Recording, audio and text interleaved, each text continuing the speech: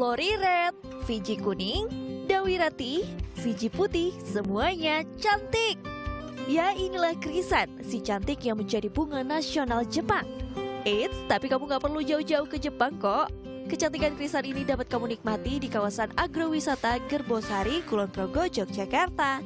Ada lebih dari 20 varietas bunga kerisan yang dibudidayakan di sini. Semuanya bisa kamu nikmati setiap saat karena krisan-krisan yang ada di sini bermekaran sepanjang tahun. Ada 86 greenhouse atau kubung tempat krisan tumbuh di sini.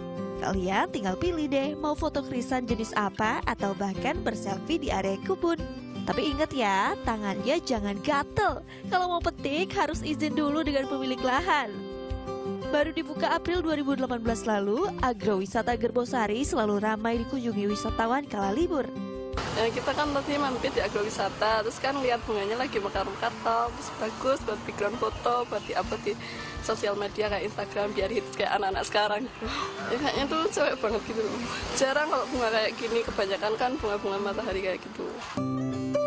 Dikelola secara swadaya oleh kelompok tani di Desa Gerbosari, agrowisata Krisan di kawasan perbukitan Menoreh tawarkan wisata edukasi bagi pengunjung untuk melihat lebih dekat proses budidaya bunga krisan. Jadi tidak harus di sini membeli bunga, tapi bisa untuk sekedar foto, kemudian sekedar untuk belajar bagaimana cara budidaya krisan, terutama wisata edukasinya juga kita kembangkan di sini.